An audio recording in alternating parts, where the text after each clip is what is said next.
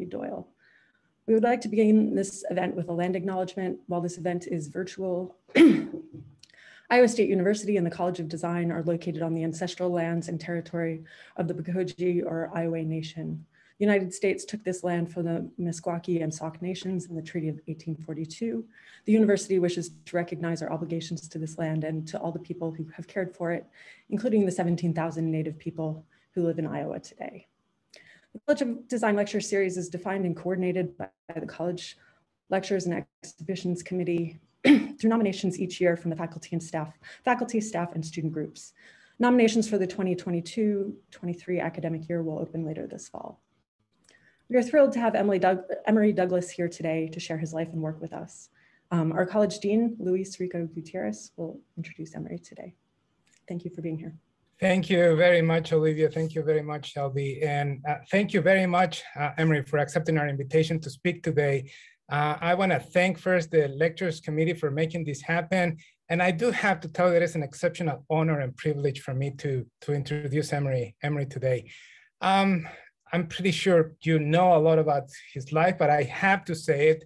Um, I will begin by saying that in the 60s, um, he studied graphic design in the City College of San, San Francisco. Uh, actually, he designed theater sets, I understand, if I understand correctly, before joining the Black Panther Party in San Francisco. And he worked there, as many of you know, as the revolution artist and minister of culture uh, from 67 to um, the early um, 80s. Um, as part of his responsibilities, he directed the graphic production of the Black Panther, the organization's uh, newspaper.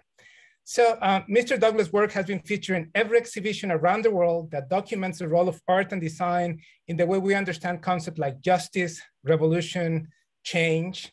For example, the Biennale in Sydney in 2008, uh, exhibitions at um, uh, LACMA, the Yerba Buena Center for the Arts in San Francisco, um, the Richmond Art Center in uh, uh, Richmond, California, uh, exhibitions in Minneapolis, in um, uh, the UK, in the Nottingham Contemporary Art Center, the Centro de Arte Reina Sofia in Madrid. So every institution that is trying to document how art plays a role in all those concepts has actually featured the work of Emory, Emory Douglas.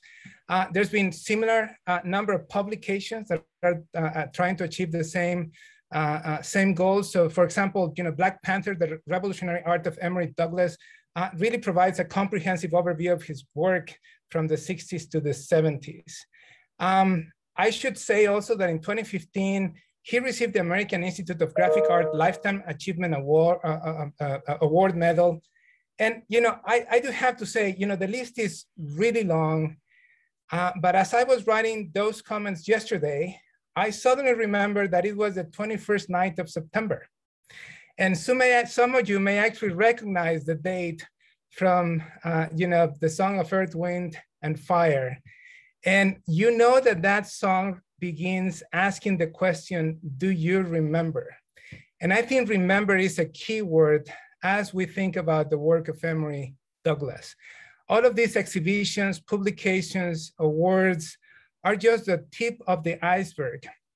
Academic summaries of one's accomplishments, like the one that I just made, are just uh, the tip of that iceberg that sometimes tends to hide the true significance of uh, uh, uh you know uh, individuals like like uh, Emory. So I'm going to use that word remember, and I hope that you will remember that you were here on the 22nd noon of September of uh, 2021, because you realize that many of us don't remember a time when the struggle for equity, equality, justice was so central to every effort to define or redefine how we understand ourselves and our culture but I hope you will remember that there was a before, and that, be that before became what is now and will become our collective future, in part because of the work of Emory Douglas. So with that, I'm just going to pass it to Emory. Thank you for being here again. It's a privilege and an honor for all of us. Well, thank you. And I'm honored to be here today uh, to uh, do share my presentation with everyone. Uh, I'll make it brief in the context of, uh, so you know that uh, there's many uh, slides I have to show, so I won't most likely may not be able to get through them all, but uh, I will give you some put some historical context behind the artwork itself. Uh, the artwork from the first part of phase would be will be about the art I did during the 60s and 70s. Then I go into discussing about the more recent art I've done since then and put it into some context. I, I will show a lot of the images. Some I will give historical context. Others I just will, you will be able to see them on the screen uh, because of time. So I started off with this one because this is uh, Huey Newton and Bobby Seale, the founders of the Black Panther Party. And it started in October 1966. I got involved in January of 1967, about three months after inception. And it changed its name to the uh, Black Panther Party in 1968. So I just, and next, that'll be next month is Black Panther Party History Month that we celebrate here in the Bay Area and wherever we have chapters and branches. Okay, well now I have to go back because my thing is not clicking. So screen, I have to go back to share your screen.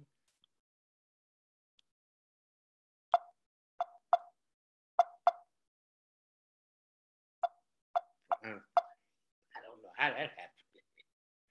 Okay, maybe I'll go back to where I share my screen. Let's click it again. Okay, maybe I'll stop my share screen and start all over. Can I go back to share screen again? Please go ahead, Emory. Um, I also want to mention that we will have a little bit of time for questions and answers at the end of Emory's presentation today. Okay, here we go. Um, now this is, uh, I'll start off with this because this is, this is when I got involved, uh, I started work doing production work on the paper. This was the first tab. Sorry to interrupt. Uh, we can't see your screen now. Okay, you can't? No. Make sure to hit that green button at the bottom of your screen again.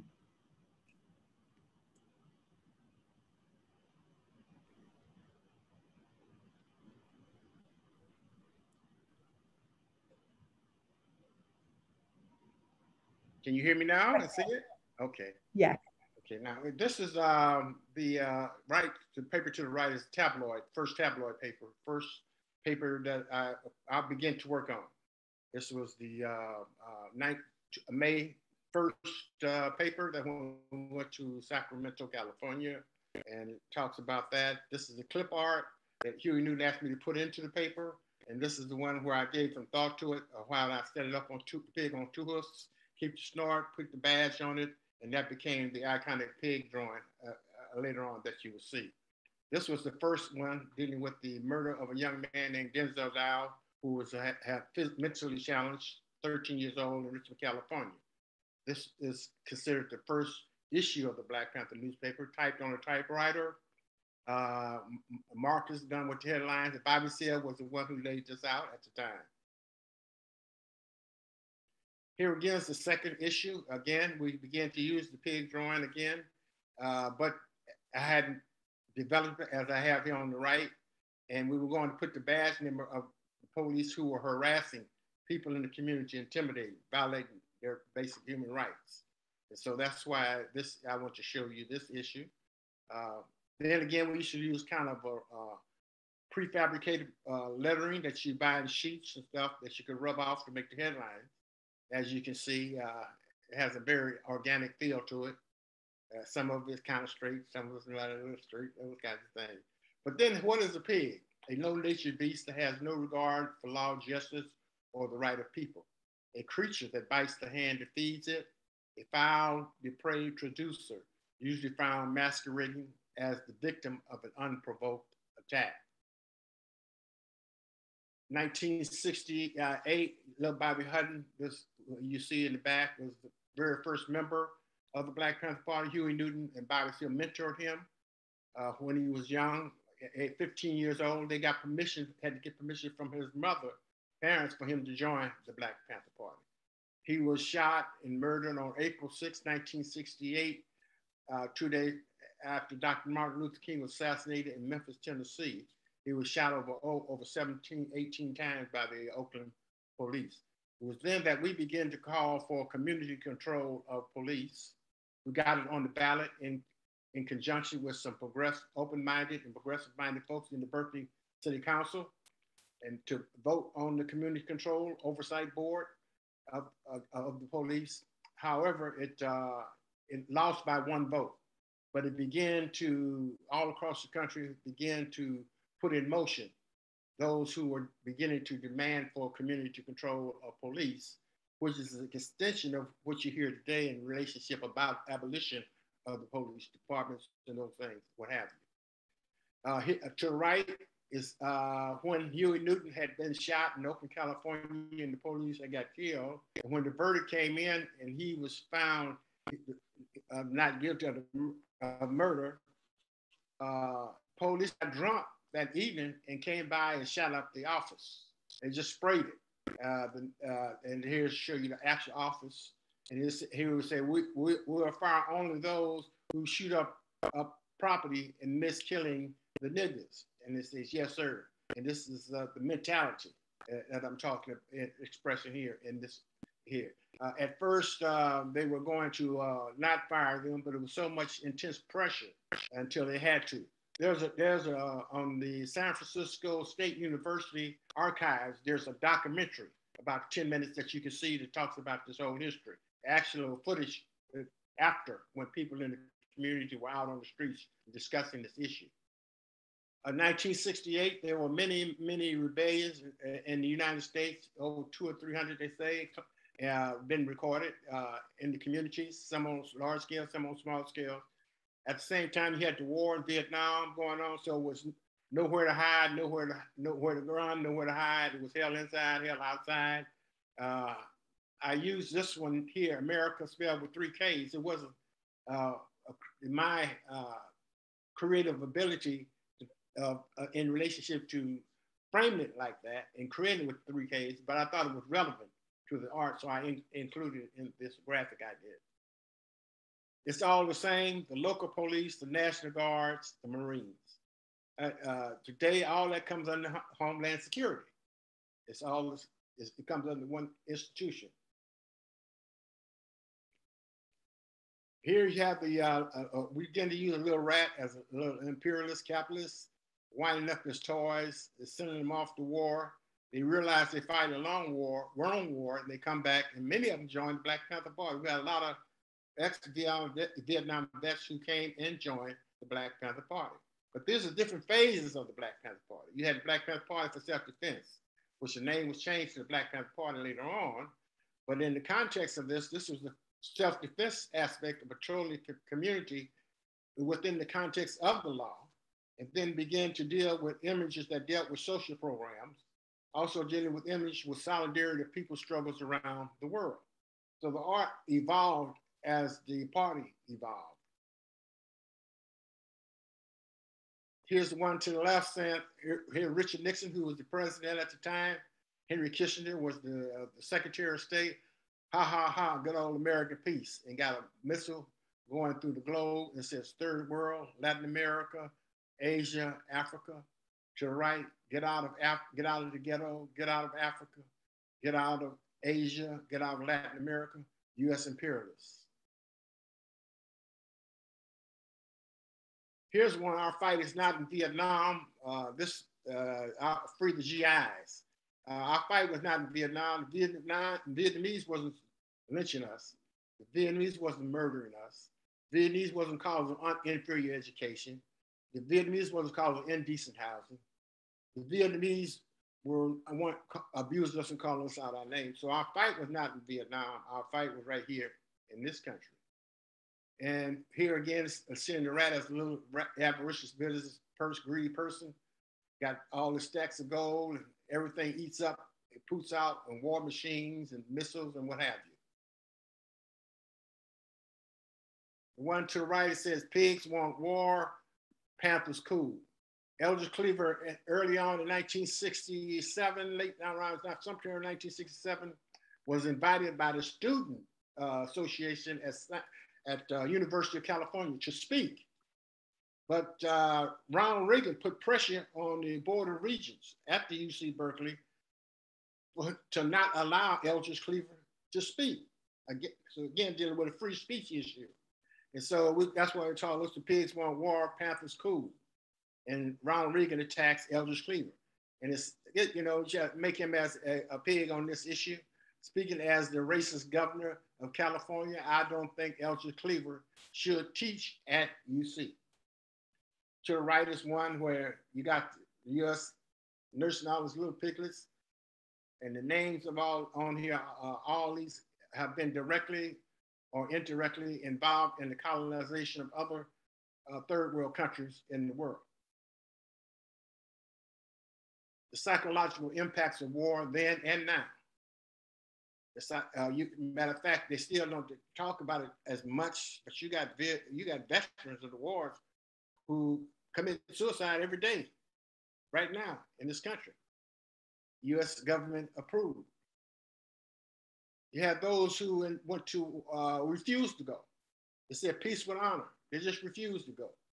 Some went underground, some left the country, some went to prison, but they just refused to go. Here's about this is Cornell University during the 60s when the, with the Black conscious area, defining about trying to develop uh, uh, Black Studies departments, and there was a great resistance about, around that. At Cornell University was one of the first students union who were demanding at Yale, at, at Cornell, I believe, excuse me. And what happened is that uh, their lives began to threaten, and they were getting messages about attacks on them. So that's when they brought in to protect themselves for self-defense. Uh, but but that wasn't the reality of what it was meant to be. But it was meant to be in relationship to protect themselves. So when the negotiations uh, were worked out, that's where you see them coming out with the gun. But there, I think there's a, a, film called Agents of Change that just goes into San Francisco State, which was the first uh, or second BSU form in this country, Black Student Uniform in this country, and the other part dealing with Cornell, uh, called Agents of Change. And that's why I did this image here uh, to, uh, uh to acknowledge this particular event we called uh, Babylon, elders began, we calling the word Babylon to define America.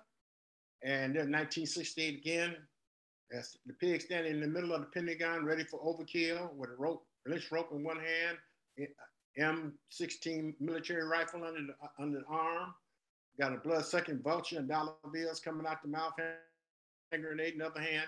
In New Haven, Connecticut, you had two Panthers, Bobby Seale and Ericka Huggins, who were set out by agent provocateurs for the murder of a Panther, which they were eventually exonerated of. Kent, Ohio, you had four white students who were murdered by the National Guard for protesting against the war in Vietnam. Had Augusta, Georgia, Jackson, Mississippi, and many other campuses where you had black students on the campus. There were out, there were battles on those campuses, uh, outright battles on those campuses with the, with the uh, uh, uh police, what have you. You had Vietnam, Cambodia, Laos, and the struggle of the Palestinians. Also, you had 1968, you had John Carlos and Tommie Smith, who uh, had discussions with community people, and Panthers were part of that, all kinds of folks, but I was not one, where they were discussing uh, what they could do when they went to the Olympics in regards to the human rights violations against the, the Black community.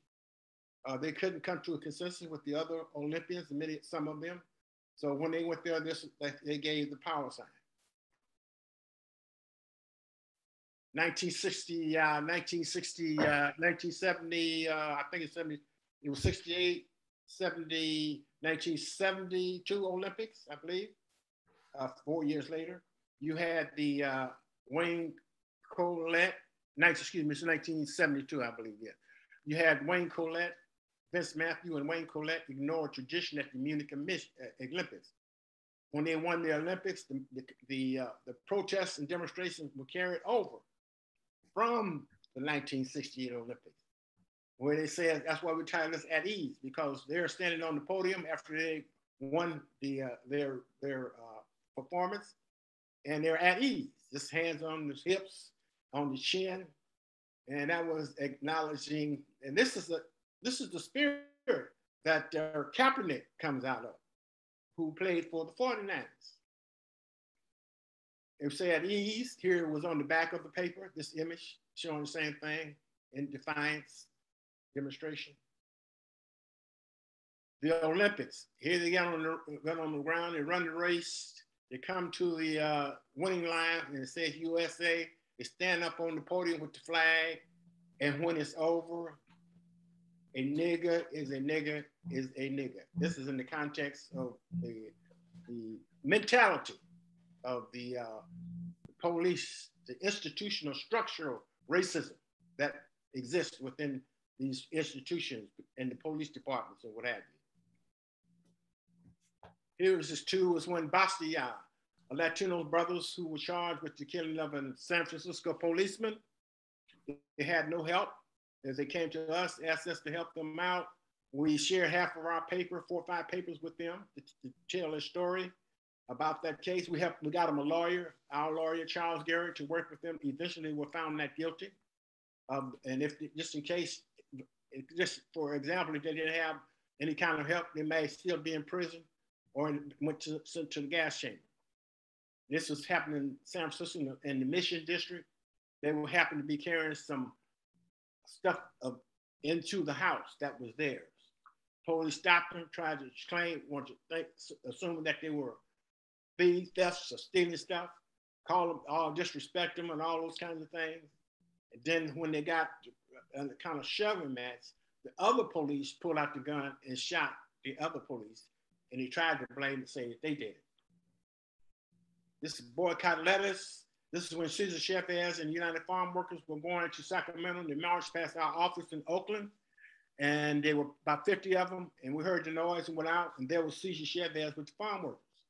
And we asked them what, what, what and, I, and, they explained they were going to Sacramento because of the, uh, the protests against the, uh, the pesticides that were being uh, sprayed on the on the field on the lettuce that were harming the farm workers. And they needed were hungry, needed a place to eat. So we invited them to our school, which is about 20 or 30 blocks away from our headquarters at that time, and had lunch with them.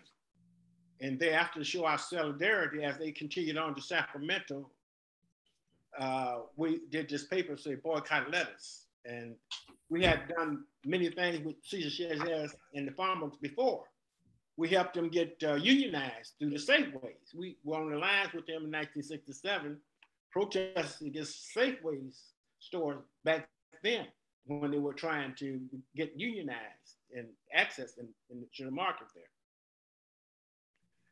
This is kind of play off when you go up and you have the uh, going up into these uh, space programs and his back then they're saying, oh, at last, when they got up on Mars, whatever, white only when it's white night because based on the uh, white flight of communities of color and black people where they lived at during that time when blacks would move in, they move out. So it's based on that. And I carried it over to Trump. I have some stuff coming up on Biden pretty soon. I'm working on it. And it's the same thing, white only. Here's again, whatever's good for the oppressor has got to be bad for us. He says, hey, handle them slaves with care. We're going to need them for Mars, Pluto, and all those other planets. Here you have the slaves getting off the plane, pig ship and say, I knew we should have shot this shit before it got off the ground.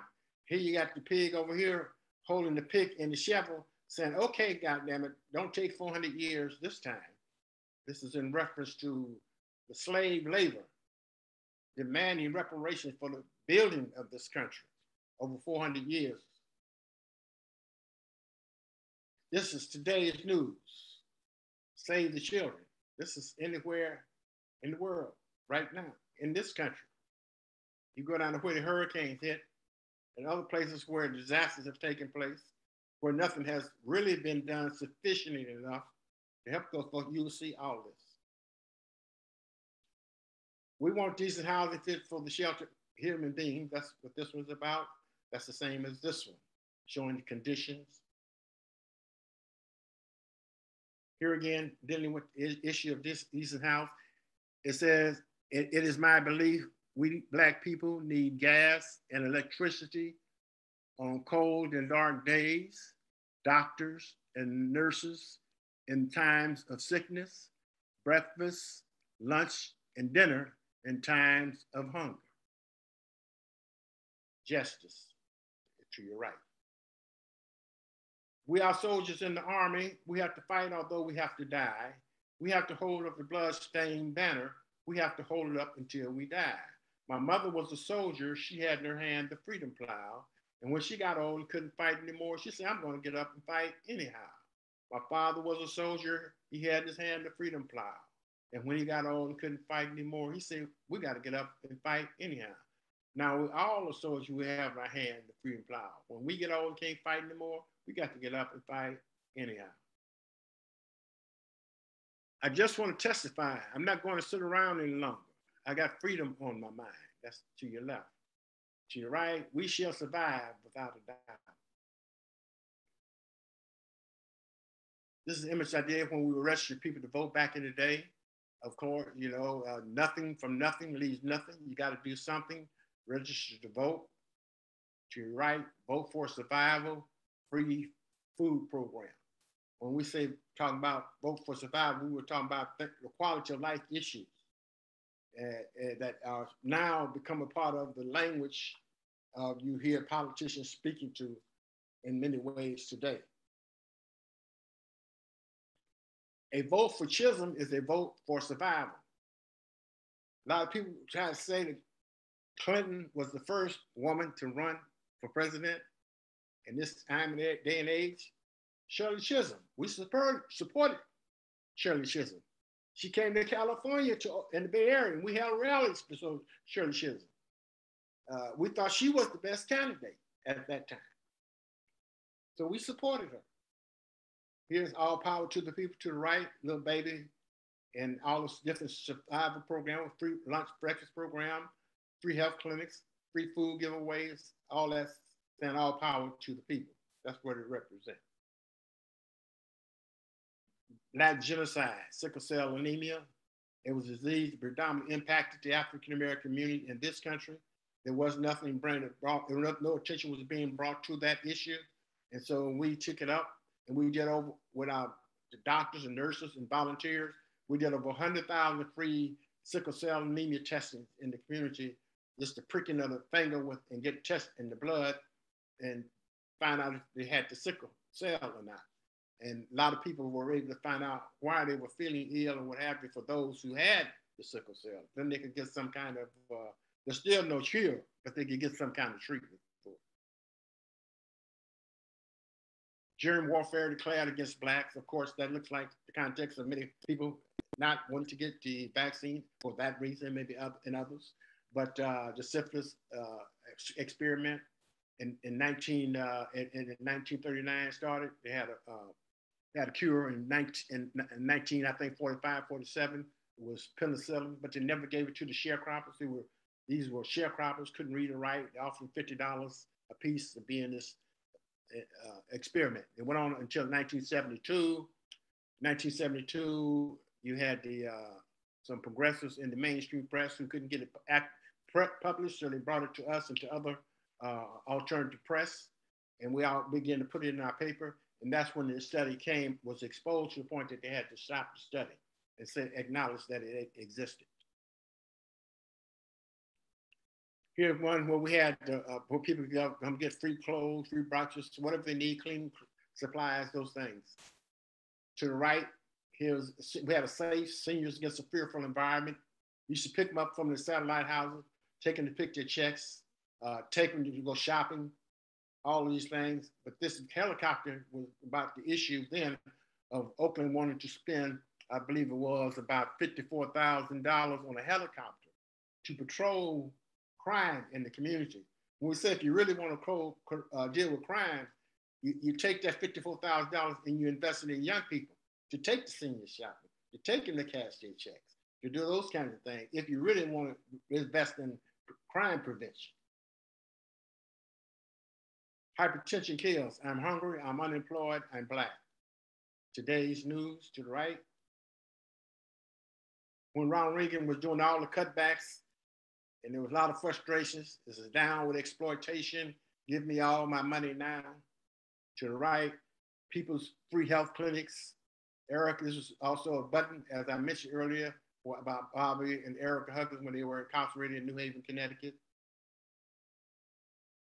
These are images of mine that were reproduced by the Cuban artists back who did amazing posters in solidarity with people from Asia, Africa, and Latin America. And they used to, uh, that's, and they took several of my images, made into this poster done by OSPAAAL, Organization of Solidarity with People from Asia, Africa, and Latin America. These were the two images that were remixed. A lot of people thought I was copying their art when they seen this poster, but this is where the art comes from, these original images that I did here. The same with this one. Solidarity with the African American people, August 18, 1968, in four different languages.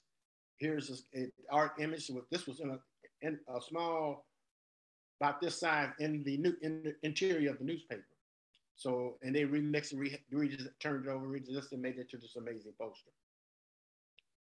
Afro-American solidarity with the oppressed people of the world.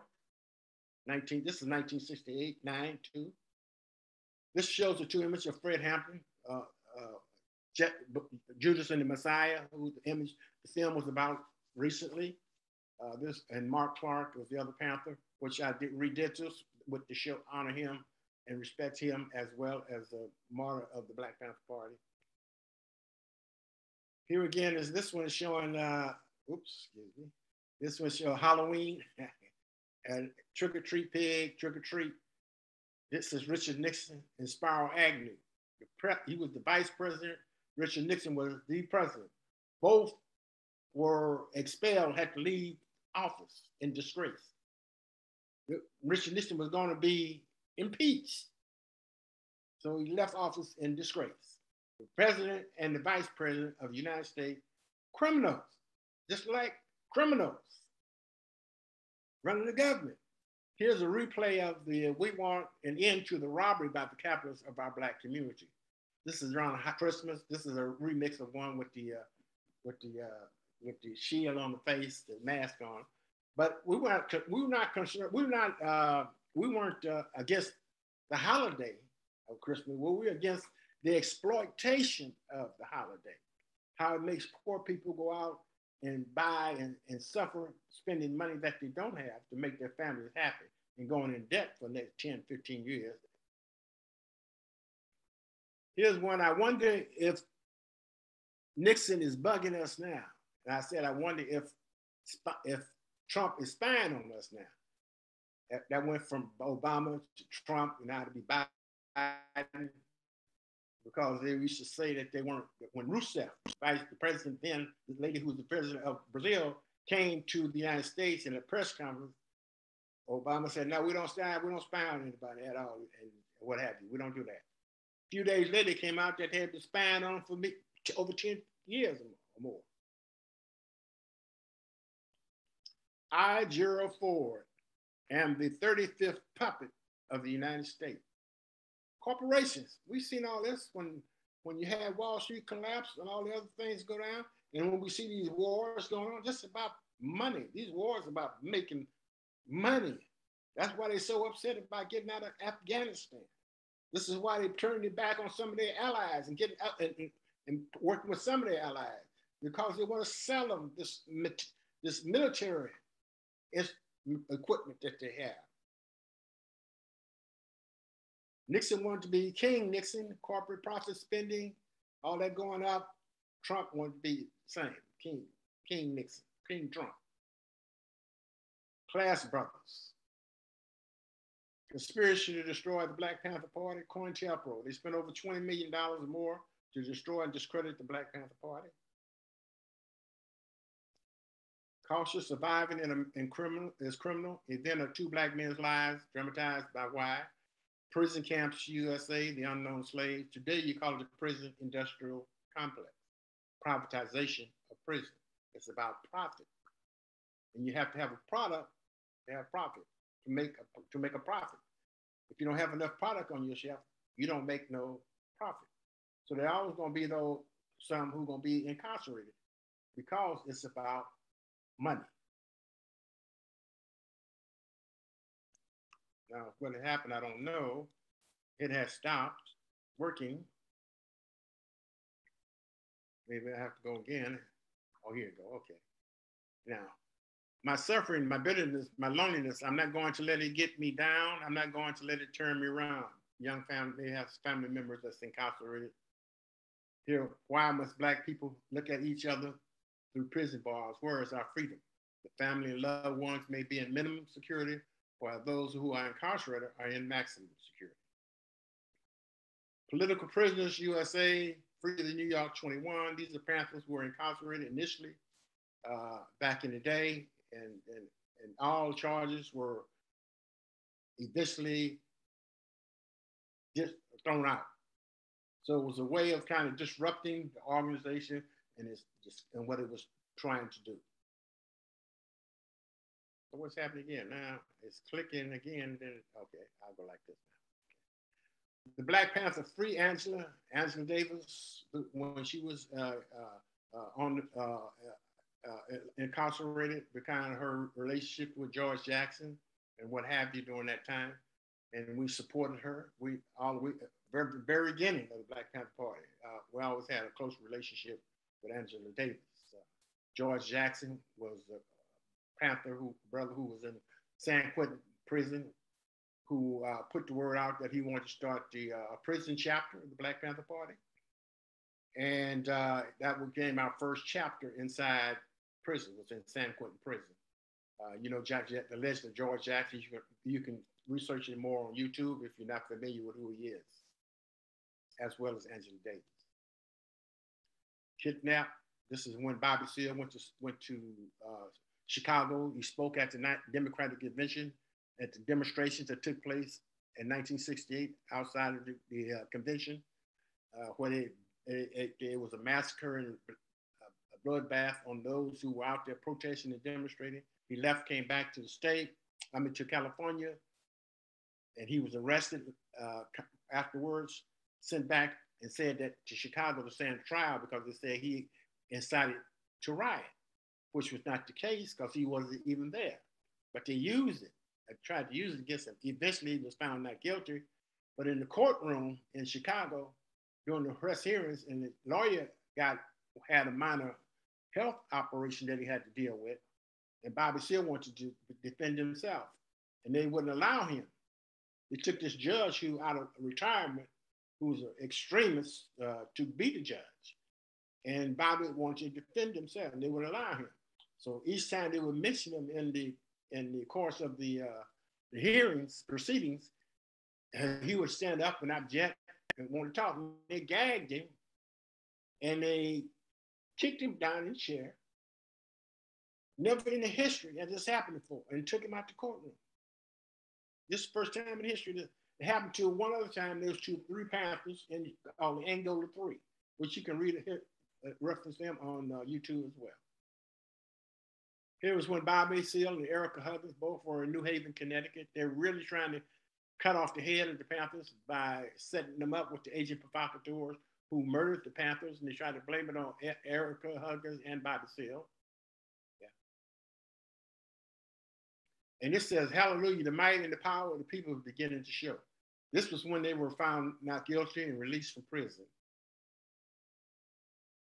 This shows our solidarity with the original caretakers of this land the, the American Indian. We always aim was our was our comrades in arms in the struggle and what have you. They always acknowledged that they were inspired by the Black Panther Party as well. This is a more recent image. I'm going to newer images now. These are these are uh, rich, colorful images that done recently. This is a more re remix of the Panther image itself. This is called Malcolm X the Warrior. This is Malcolm X, the, I call a father figure. This is Dr. King, who, when he began to oppose the war in Vietnam, that's when he got murdered. All, and when he began to talk about uh, solidarity and uh, outs and issues that were dealing with internationally and what have you, uh, that's when the many of those civil, main so-called civil rights leaders abandoned him we used to work the same fields that the sharecroppers do today uh, and what have you. So this is basically that expression. But go into them, not based on the time, I don't uh, go into them and talk about them too much. this is the takeoff of these. They used to buy the paper, and so I want to highlight them, honor them. I did, and I remixed them again with the with the papers in relationship to what the news would be about today. It's called Today's News on there. SOS Global Warming, uh, Justice, Resist Unjust Laws, All Power to People talking about uh, housing, jobs, all these things. You know, that's the essence of trying to bring it, making it relevant in the context of the uh, the news today. And it says here, respect Mother Earth. Don't support the greedy. To the right, here we here we are living in the land of plenty while we the people starve. People's free food program. This is this this is a remix of a, a historical one. Freedom, our Panther School. We had a, we had our alternative schools. You can see that on YouTube, Oakland Community uh, Learning Center, Oakland Community School, and we had liberation schools as well. Uh, on to right, educate to liberate. You got freedom symbol, icon, panther. People, this is one says survival pending revolution. She says, I am a revolutionary. She's got the people's free health clinics, free breakfast for children served here, Monday through Friday, 7 a.m. to 9 a.m. People's free food programs, free clothing programs, we had liberation schools, and they had the, the uh, our schools as well.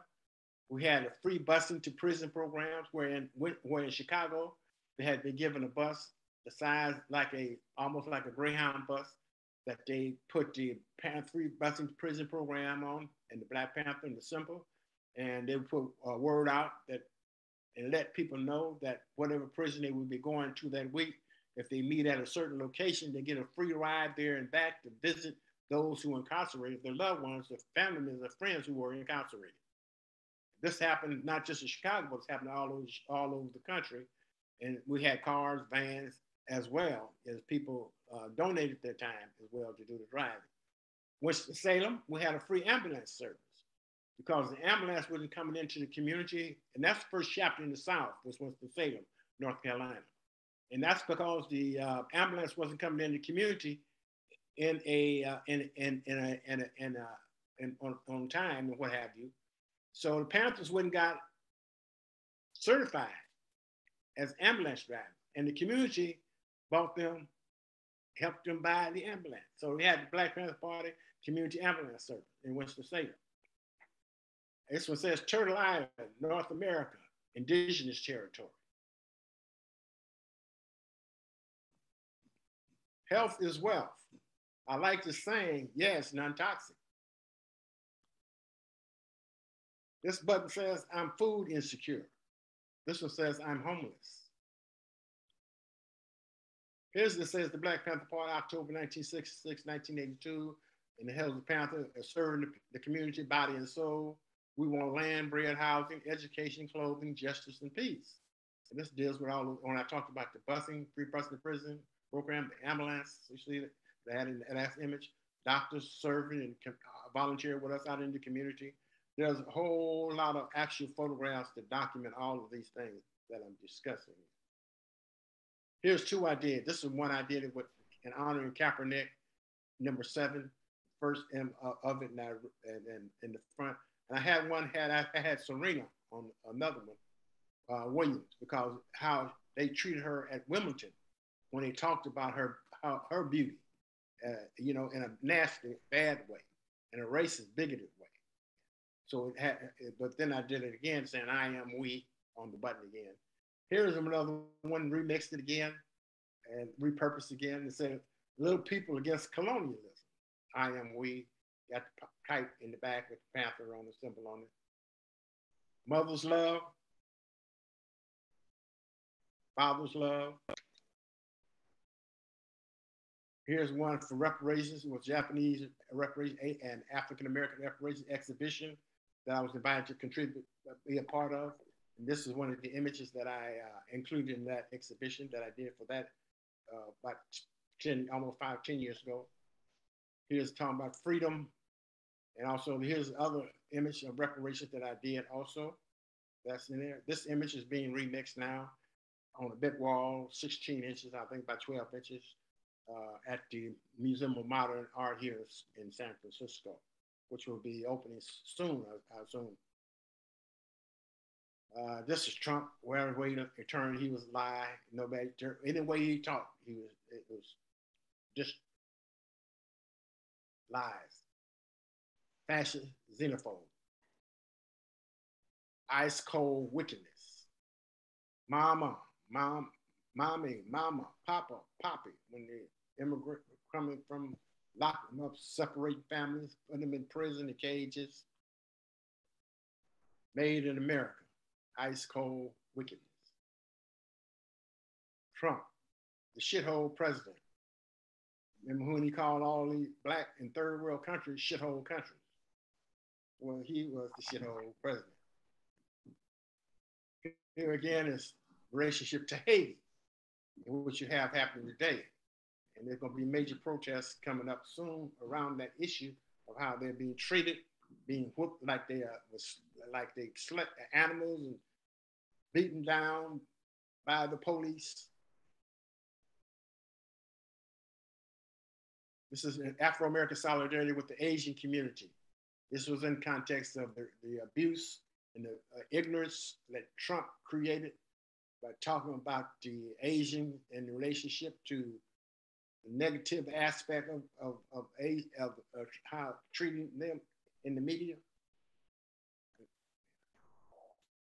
Arab, Muslim, Islam, US government coded word for terrorist hate discrimination. Black male, US government coded word for hate, discriminate, kill. Justice resists unjust laws. Amendment 1 to the Constitution of the, of the United States of America, freedom of religion, speech, and the press, rights of assembly and petition. BDS, boycott, divest, sanctions, down with apartheid. Here's again that same image showing solidarity uh, with that with the my solidarity with boycott divest movement down with apartheid. Free the land by any means necessary, boycott divest down with apartheid.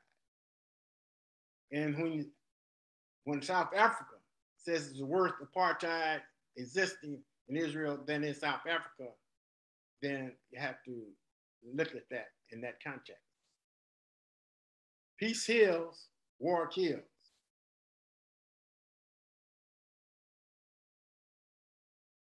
Here's what figures using word figures to make up the word war. When this image like this, going like this is war. If it was going in the same direction, it would mean peace. And this is a, a playoff, an abstract of a Bantu African symbol that represents this, like this makes war. If it was both going the same game, it would make peace. And war, as the figures, W A R the dynamic of what war, impact of war, those millions, and thousands of people with limbs still got landmines all over the world. They now they have been training rats and stuff in certain parts of Africa to send out to test for landmines that still exist today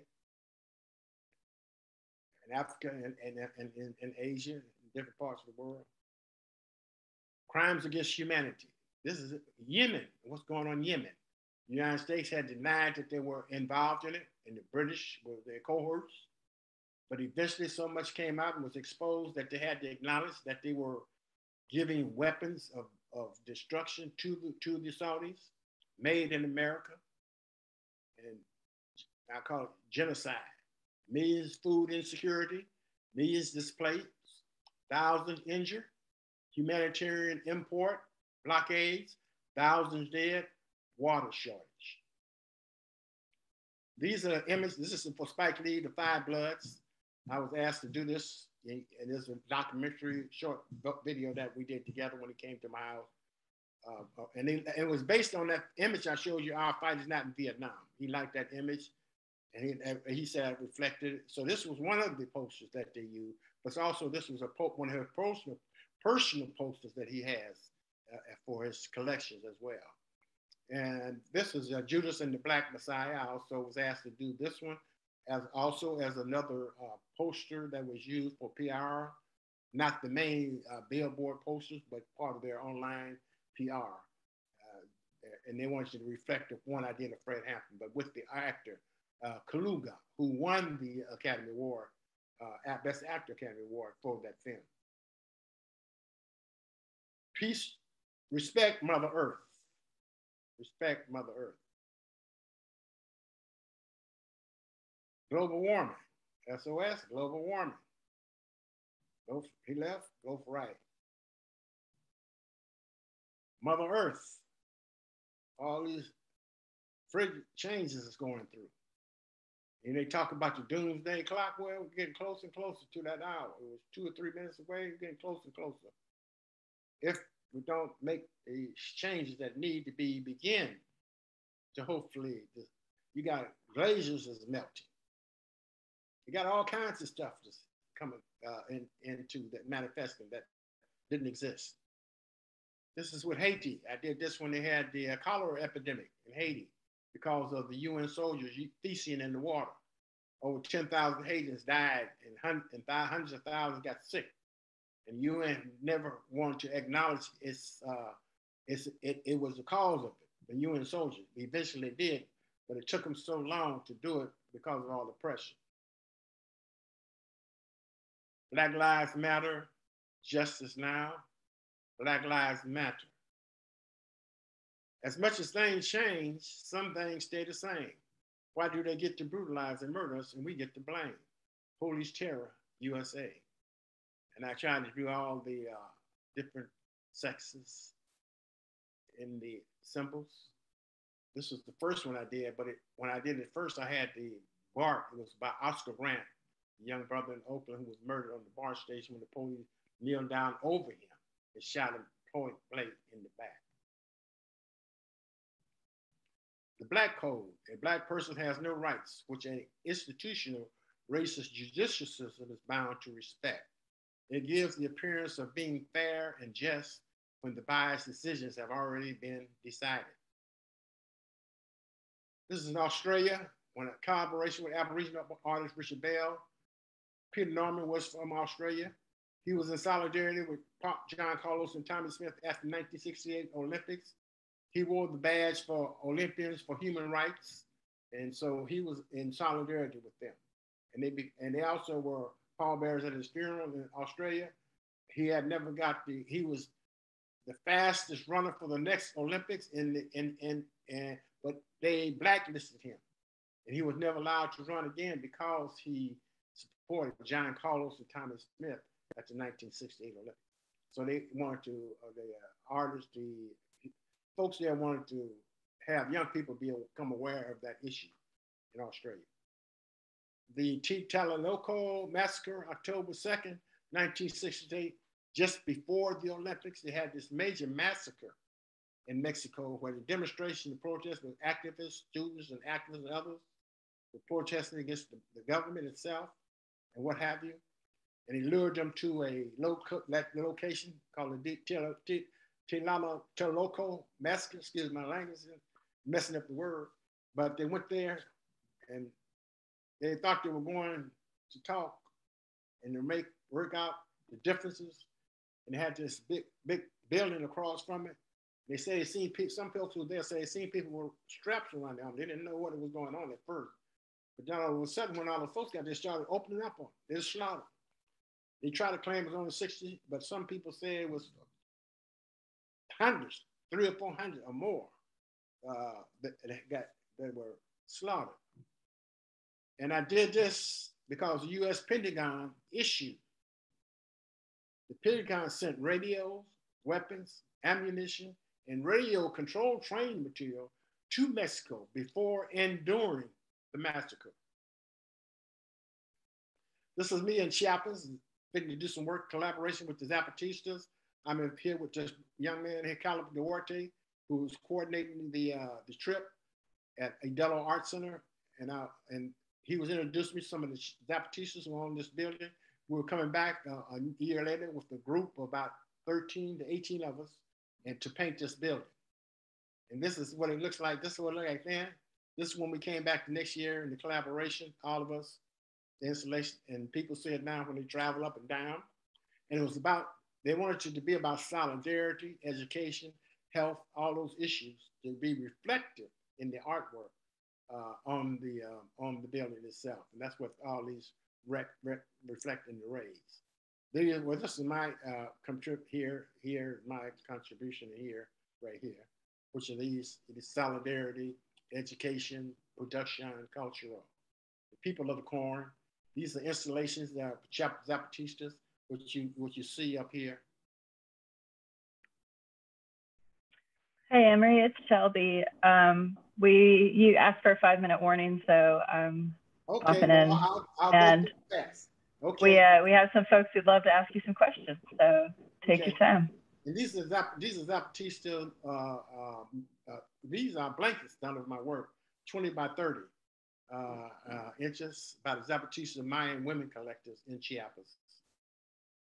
This is when I visited the school in uh, Oakland, California. This is, this is in uh, Urbis in Manchester, England, when I had an exhibit there.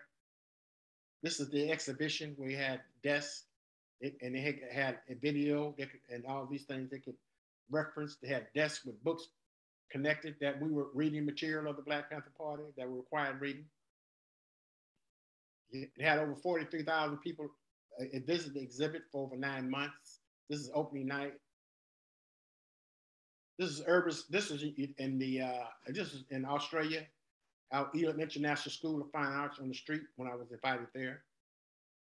41 days to do an artist in residency. Been back four or five times. This is at the library with Maori and activists about a land problem they have issue with the government trying to take over their land, and they're planning some protests at the library. They asked me in relationship to contribute to the illustrations or suggestions of ideas. This is all uh, Maori school. Uh, these are Samoan school in, in New Zealand that I visited. I visited. Artists, all artists.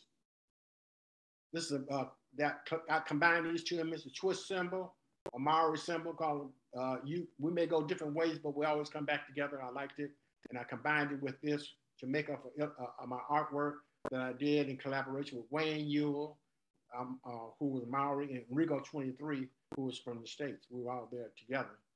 And this is what I came, our oppression is over, uh, is our path to unity. That's what it briefly means in Maori. That's what you spell it. This is in, this is in, uh, this is in Argentina, Trimarchi. Young people invited me there.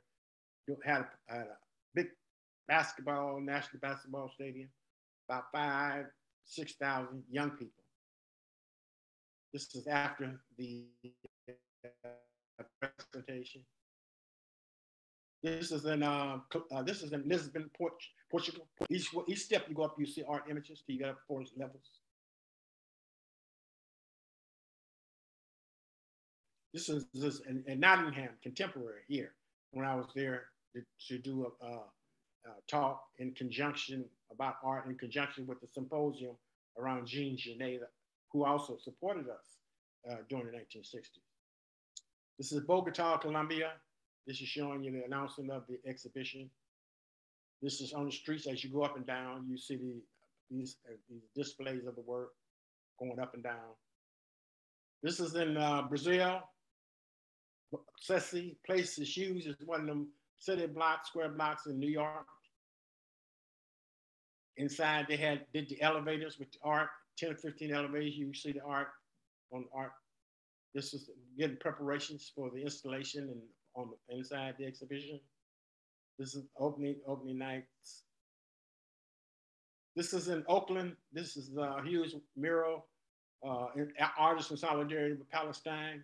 You had the Jewish American artist who did the Palestinian sister who could not come get her work. You had uh, Afrocentric artists. You had Japanese American artists.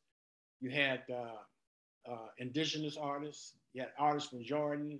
You had uh, also it was a whole mixture, combination, Arab American. This was my contribution to that mural. Somebody taking a picture with the young Palestinian kids. This is Arusha, Tanzania, uh, and they like this image. This is Sister Charlotte, who was a former Panther, who doing a lot of work, community work there. Highly respected and love her and her husband. And this is what they want to use this in conjunction with the other things they want to put on that wall when I was there. This is and this is also in New Zealand when I collaborated, and they liked this the image that I did. Uh, they liked to want it to be about peace. But this is when they meet, they hongi. It's called hongi, I know. But they want to have gangs there, but they want it to be about peace. So that's why we the mochas, they call they don't call it they call mochas. In the face, it was murder of, of the words peace. That's when Tame Iti, who's well-known activist there, met me. He and others, along with the Polynesian Panthers, a lot of people know there were Polynesian Panthers in Australia. And we took me straight to their marae and uh, gave me official welcoming in their, in their, in their language. Endangered, I'm about finished. Endangered species, youngsters killing each other, don't realize they're endangered species, less than 1%. Talking bullets, looking bullets, pointing bullets, mental bondage, prison industrial complex about money, private property. Don't realize when they're going in the system, it's about profit, about money. Hallelujah, justice. Leonard Peltier, right? Indigenous, AIM, American Indian uh, comrade. Mumia Mumia Abu Jabal represent many political prisoners who are still incarcerated. Free, free political prisoners, by three more images, free political prisoners, freedom fighters USA, fight fighters for, for peace, justice, freedom, particularly the struggles against recognized cruel and oppressive conditions, government's inhumane policies and actions. This is at the Lorraine, this is at the Lorraine Hansberry uh, uh, uh, Museum in Memphis, Tennessee. The place where Dr. King was assassinated is now made into a museum. It's been made into a museum. And they want to include the activist art from the 60s to be a part of that. And they want to use this image as to be inclusive. And last, the remix of the paper boy, not the paper girl. It's all power to the people. And that's it. Thank you much.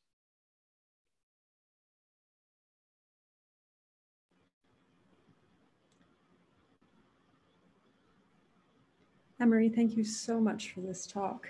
Um, we really, really appreciate it. Um, so I'm gonna, um, and I don't know if you want to keep your screen up or not. That's yeah, um, I'm trying. um, we have a number of questions already in the chat. Um, uh, before we go to the questions, is if you guys are able to turn on your cameras um, and clap, I think that would be fantastic, um, or at least give a an emoji, uh, an emoji clap to say thank you to Emory for that wonderful lecture.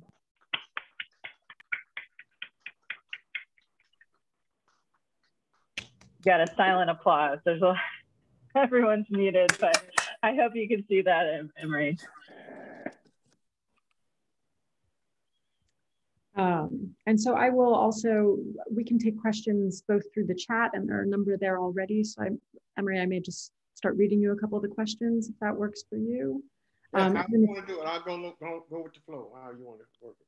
Um, and then if anybody would like to also turn on their camera and microphone, maybe just give us a virtual hand raise um, for that. And we'll, we'll spend a couple of minutes or more than a couple of minutes on questions. Um, I know a lot of people have classes that start at 110, so hopefully we've got a bit of grace on that also. But the first question that came through um, was, how can we avoid cultural appropriation while making graphic art that draws from the struggles of what of one community to depict the pain and challenges of another community to make our argument stronger? Well, to, today is, is, a challenge. So you do have.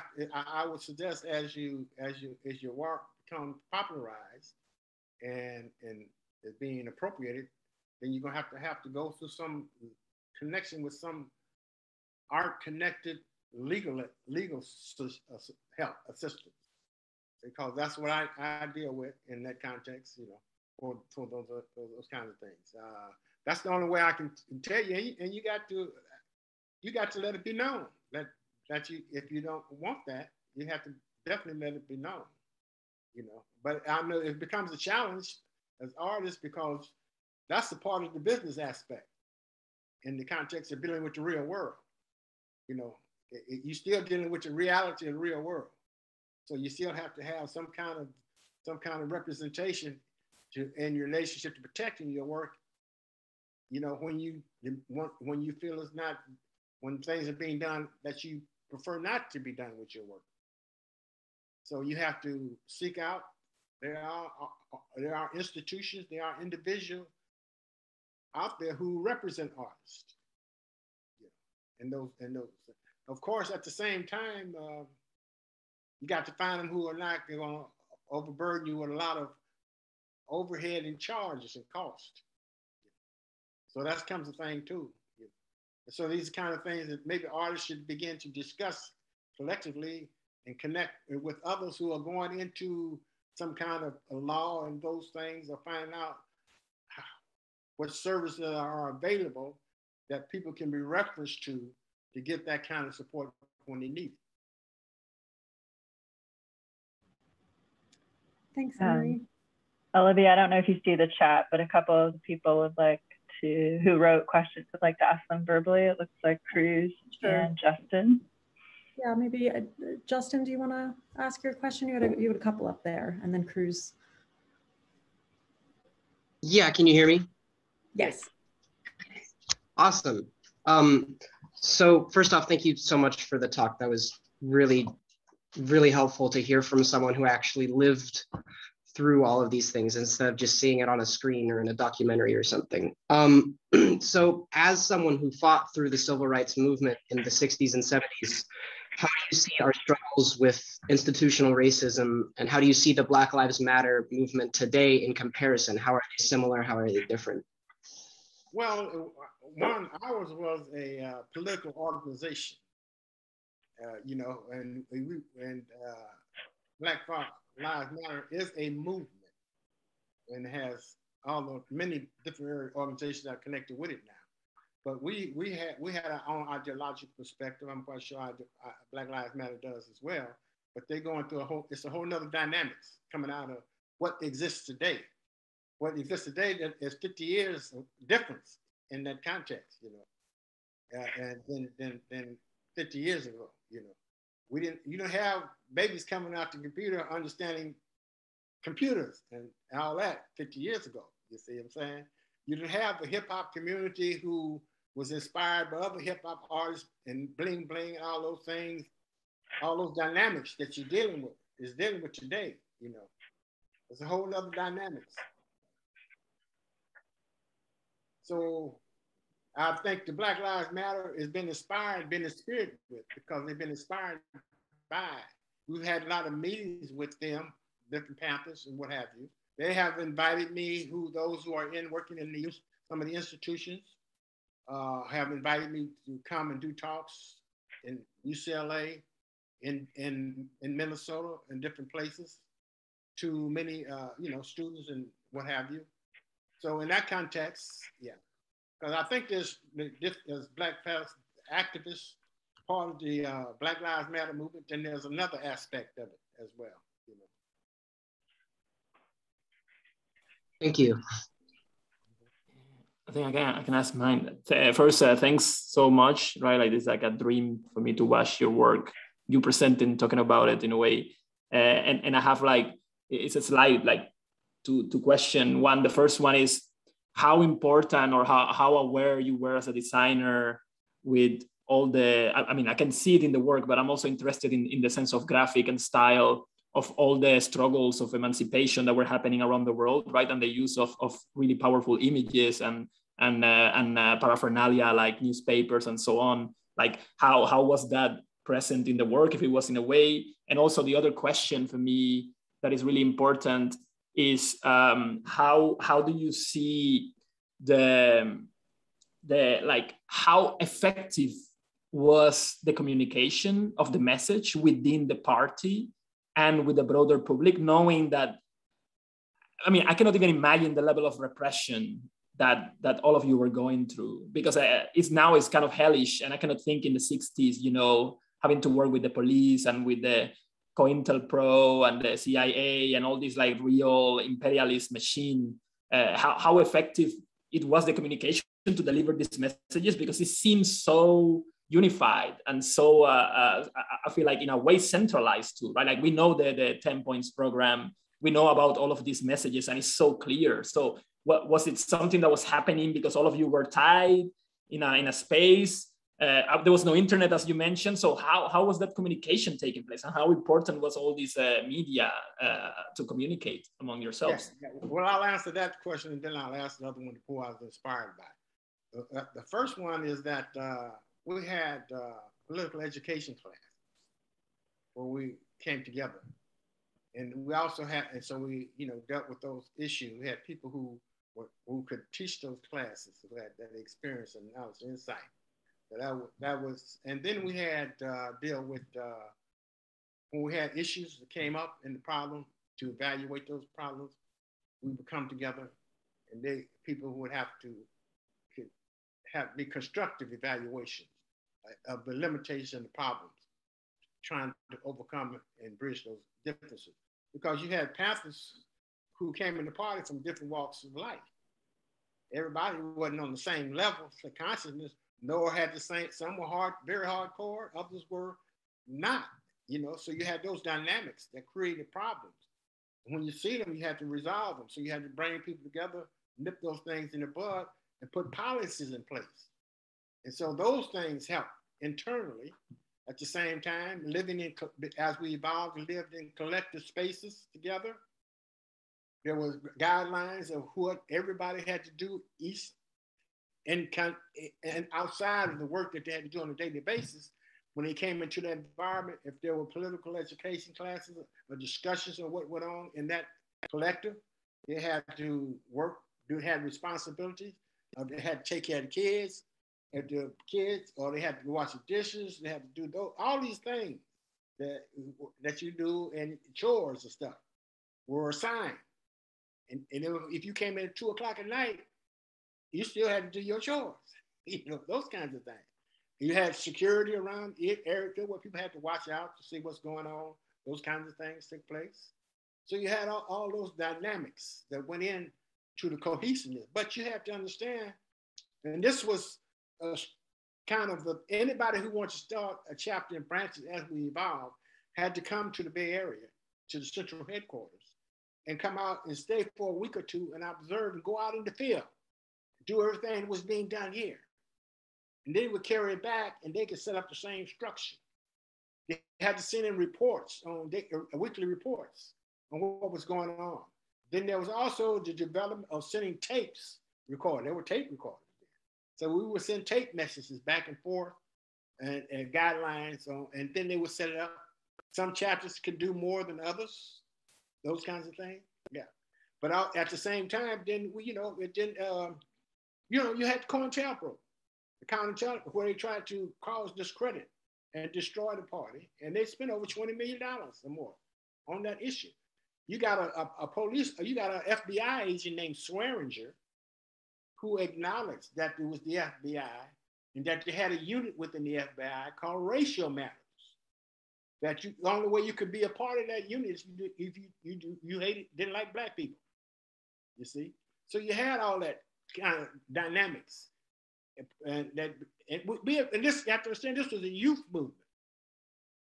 This 15, 16, 17, 18, 19, 20, 21, 22 years of age, that first cadre.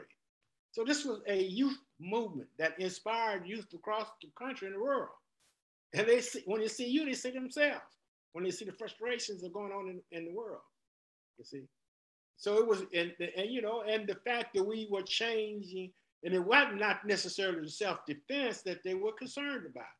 The fact was that we were changing the minds of young people and people in the world.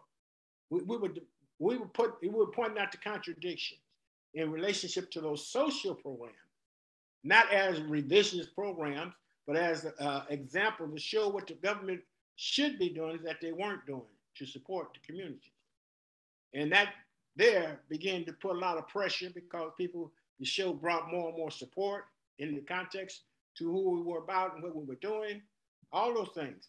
That's why you had the free breakfast lunch program in the schools because community demanded that. You had those who dis- who may have not agreed with us. do some of the same things because they seen the benefits of it. So you lead by example. A Vanguard organization leads by example. Then if it's correct, people will probably do some of the same thing. Yeah. So there's a whole lot of dynamics uh, in, in the context of the party itself. Uh, but in the context of the, uh, the artwork, it was a reflection of the 10 point platform of Black Panther Party, the quality of life issues. But it's also inspired by the political art that was being done during those days that I showed from Cuba. They should do a lot of artwork in solidarity with people struggling, third world people all over the world during that time. You got the books called OSPAAAL. You go online, you might see them now. And it was that work. The work was then on uh, the Palestinian, Vietnam artwork, the anti-war movie here, and sometimes the solidarity. You see the work from Asia and, and L in China and, and what have you in Russia. You see that solidarity works in with African American people struggle. So all that, it was not, I was not trying to duplicate it, but it had an inspiration in the kind of way that I wanted to art to had meaning. Yeah. It spoke a language. Yeah.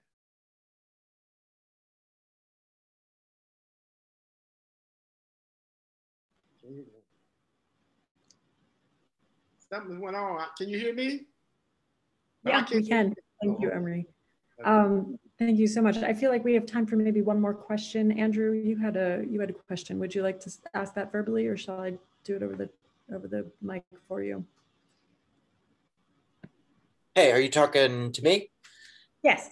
Um, Emory, great presentation. It's amazing to kind of get uh, a firsthand account of um, you know, our shared American history. Black Panther movement, obviously one of the most misunderstood groups in this country because of the narrative that that basically dominated. Um, I would I just was struck by the the consistency of of you always utilizing text and images. I was just interested in how you see the relationship between the text and the image when you're making your your artwork. How do they communicate with each other? How do they rely on each other? Mm-hmm.